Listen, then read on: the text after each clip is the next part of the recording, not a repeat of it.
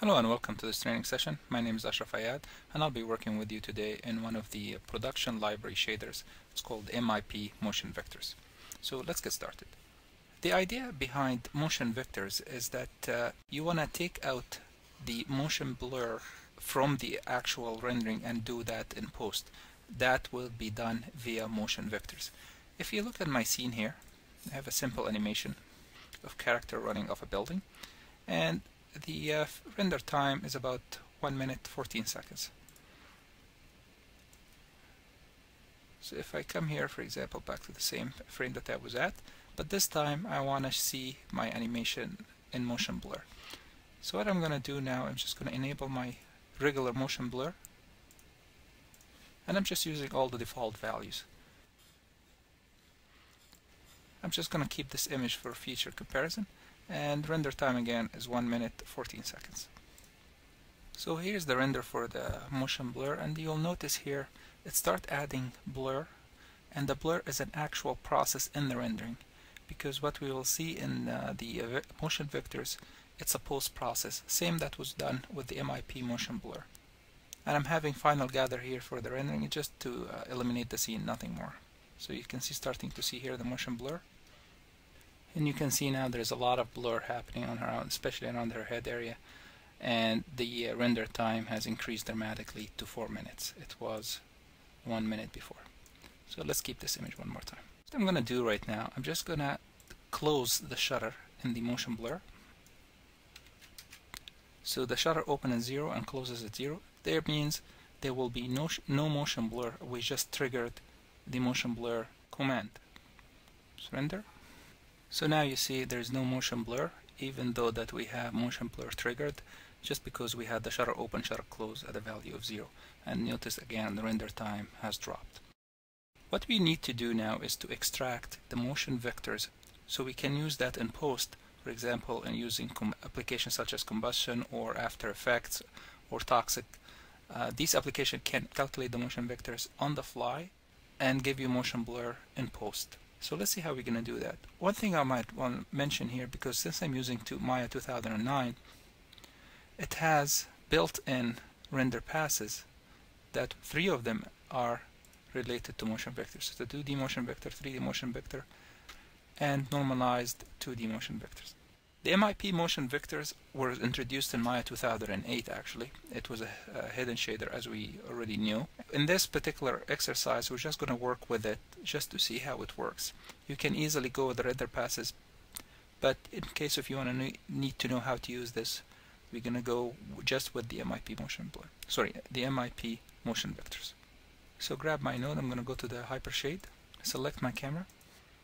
Here it is and I'm gonna grab under the mental ray node we already know it's a post process so I'm just gonna go to the output shaders and grab the motion vectors. So I have my MIP motion vector and the perspective shape node. Let me grab this up. I'm gonna go middle mouse drag the motion vector on top of the perspective and I'm gonna choose other. I want to make sure on both left and right to show hidden.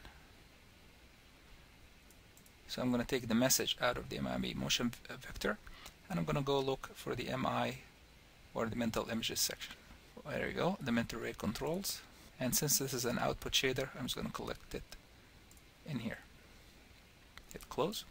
Now, if we look at the parameters of the MIP motion vector, we have a bunch of them that are similar to the MIP motion blur, but other different values. So just let's render this by default and see how it will look like. Get this image and render. See now the render is going very quickly. And since this is a post process, the image will display after the render is complete. So the render is complete, but it did not flip to uh, the MIP motion vectors or actually it did not give me the motion vectors and I think I know why because I forgot to enable a couple of items in the actual output so let's minimize that for a second and select the camera. If you go down here under the mental ray, now you have that legacy output shader has been added just because of the connection that we just made. By default it only gives you color. We want depth and motion vector as well. if you're going to be rendering float or short, which is a, different type of bits, like this is 8 bits, uh, this could be 16 or 32 for float, we can adjust it accordingly. So let's render that one more time. So the final step of the render. And here you go, that's what I was expecting. So this pretty much is the variation of uh, green and uh, red colors and this what we get used to calculate the motion vectors in post.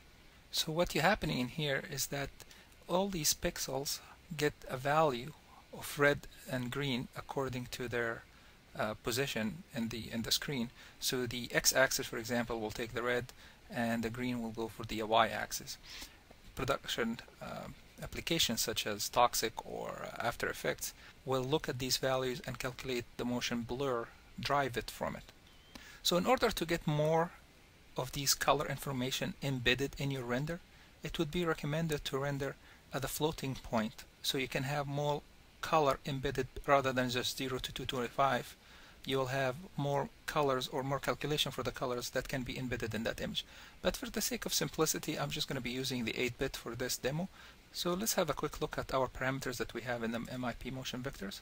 So the first thing we're going to be looking at is the maximum displace and this value is by default is uh, 50. However, you can adjust this value according to your need and what this actually does, it will set the maximum encode value or that number that will be for the vector length and that length is that one going to be decided or actually going to be encoded in the motion vector itself as the maximum movement of these pixels. So if you want these pixels to move a little bit further than this in your motion blur, you will have to increase this maximum distance. And since we're working with 8-bit, we should be using the 50 as the value of choice. However, if you're going to be using uh, the 16-bit or a float or half, that is actually half, you should be using 2000 as the value. You can even put it in here. As you see, it will adjust. So it's not really hard-coded to 50. But again, like I said, for this simple exercise, we're going to be using 8-bit, so therefore I'm going to be choosing the 50. If you're wondering how did I come up with these number 50 or 2000, it's actually Zap Andersson wrote this in his uh, PDF regarding the production library. That's how I get these numbers from. However, if you leave a value of 0 in here, or if you give the maximum displacement a value of 0, that means these pixel movement or the encoded of this uh, movement is going to be relative to the image size. For example, my image here is 720 uh, by 486, so it's 720 in the X.